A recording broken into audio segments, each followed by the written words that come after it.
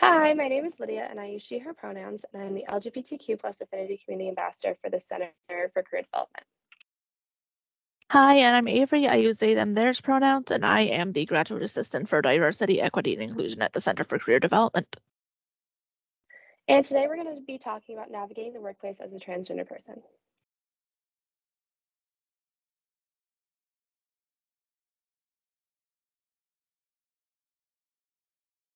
So you might be asking yourself, why is talking about this topic so important?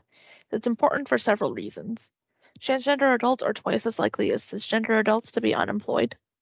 Cisgender employees make 32% more money a year than transgender employees, even when the latter have similar or higher education levels. More than half of transgender employees say that they are not comfortable being out at work. Two thirds remain in the closet in professional interactions outside their own companies.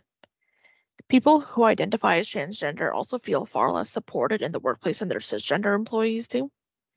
And they report that it's harder to get workplace culture and understand benefits and harder to get promoted. They also feel less supported by their managers. So, as you can see, it can be daunting to navigate the workplace as a transgender person, and today's presentation will hopefully help you feel more empowered in that journey.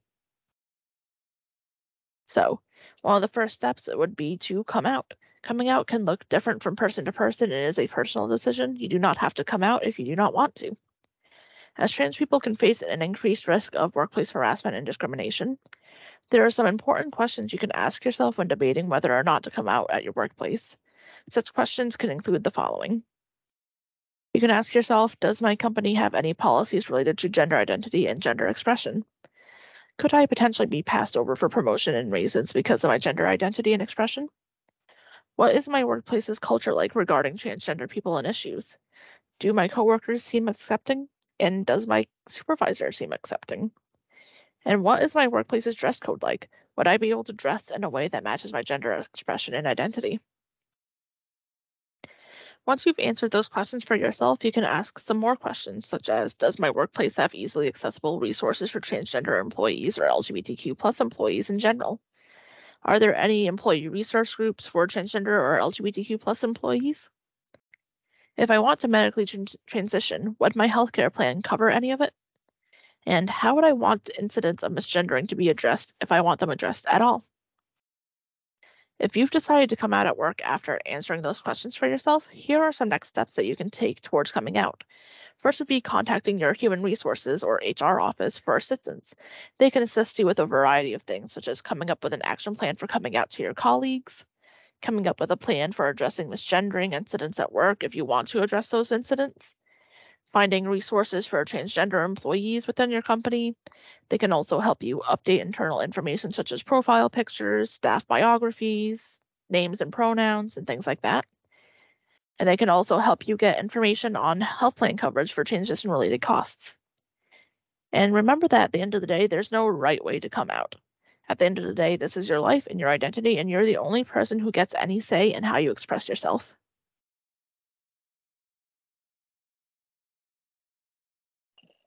So next we're going to be talking about naviga navigating a dress code policy. So if dress codes were gender neutral, they would look like these guidelines. Yes, this can be difficult because gender expression through clothing is important to identity. Here are some guidelines specifically from the Human Rights Campaign Foundation. They identified seven potential examples of policies for employers to use, such as employees may wear earrings no more than two inches in length or diameter, Employees must wear suits to meetings with clients. Employees with hair below the chin must wear their hair tied back while working with or on the floor with machinery. No sweatpants or athletic apparel. No excessively dirty or worn clothing. No slip on shoes or sandals, and no jewelry that can cause a safety hazard. So, if the dress code were to look like a gender neutral setting, this is some inspiration with some images. They're all still gender expressive and but still can be pro professional at the same time. So next we're going to be talking about when to use legal names and preferred names. This can be tricky to navigate, so here are some guidelines on when to use chosen versus legal names. So when to use your chosen slash preferred name is on your resume, email, phone directory, or in your day-to-day -day interactions, but when to use your legal name if asked specifically on an application, background checks, social security documents, and insurance forms. If you've legally changed your name, then you can use your new legal name in all contexts. This makes it easier to navigate within the workplace just to make sure that everyone's comfortable, but you're also still using the correct legalness.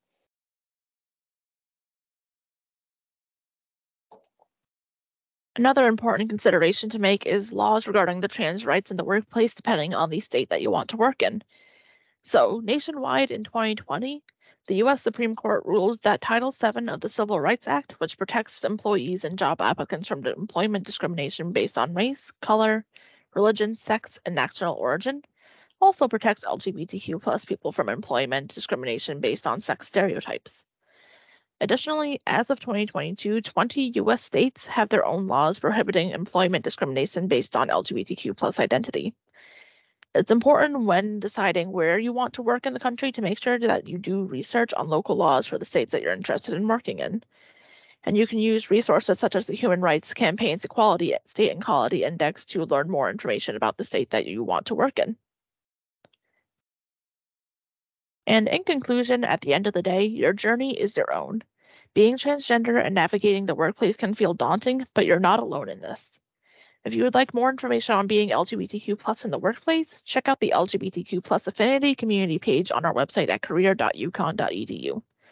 And if you have any questions or concerns on navigating the career development journey, you can also make an appointment with one of our career coaches. Thank you.